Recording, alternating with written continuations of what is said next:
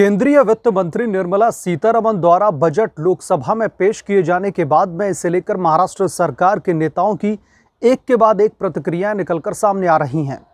ठाकरे सरकार में मंत्री नवाब मलिक ने पेश किए गए बजट को लेकर के मोदी सरकार को घेरने की कोशिश की है। एनसीपी के नेता और महाराष्ट्र सरकार के मंत्री नवाब मलिक ने कहा है कि ये केंद्र सरकार का बजट था या फिर आईटी डिपार्टमेंट का ये समझ के परे है। इन शब्दों के ज़रिए एनसीपी नेता और मंत्री नवाब मलिक ने आम बजट पर प्रतिक्रिया देते हुए सरकार को घेरने की कोशिश की है।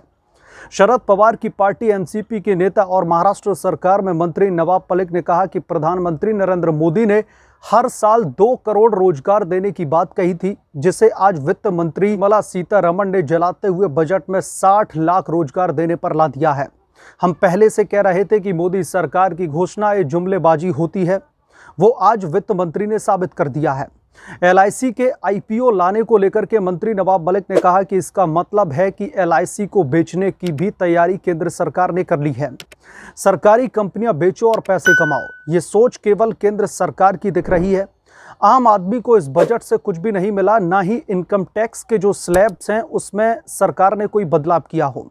नवाब मलिक ने कंपनियाँ बेचो और पैसे कमाओ जैसे स्टेटमेंट को लेकर के भारतीय जनता पार्टी और प्रधानमंत्री नरेंद्र मोदी को जो है घेरने की कोशिश की, लेकिन उसे लेकर के अब बीजेपी ने नवाब मलिक पर बड़ा पलटवार किया है।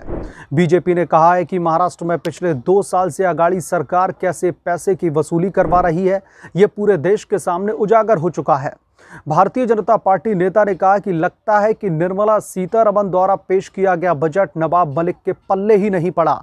कल महाराष्ट्र में नेता प्रतिपक्ष देवेंद्र फडणवीस ने इस बजट से जनता को मिलने वाले फायदों को लेकर बड़े ही आसान भाषा में बताया था कि नवाब मलिक तब भी शायद बजट की अहमियत को नहीं समझ पाए, इसलिए उन्हें यह बजट जुमलेबाजी लग रहा है।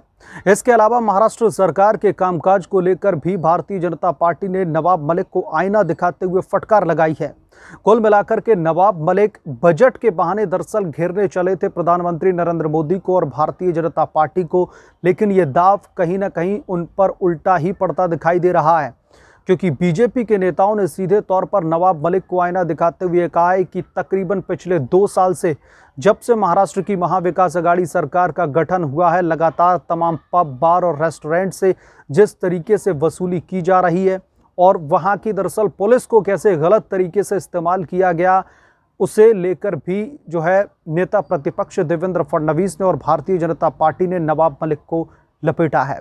बहरहाल, जो नवाब मलिक दरअसल बजट के बहाने घोषणाएँ, जुमलेबाजी, दरअसल उसको करार देकर के भाजपा पर निशाना साधने की कोशिश कर रहे थे, लेकिन बीजेपी ने उन पर तगड़ा पलटवार करते हुए उन्हें दरअसल आईना दिखाने की कोशिश की है, इस पर आपका जो भी पॉइंट ऑफ़ व्यू है, हमें कमेंट सेक्शन में ज़रूर लिख बताएँ।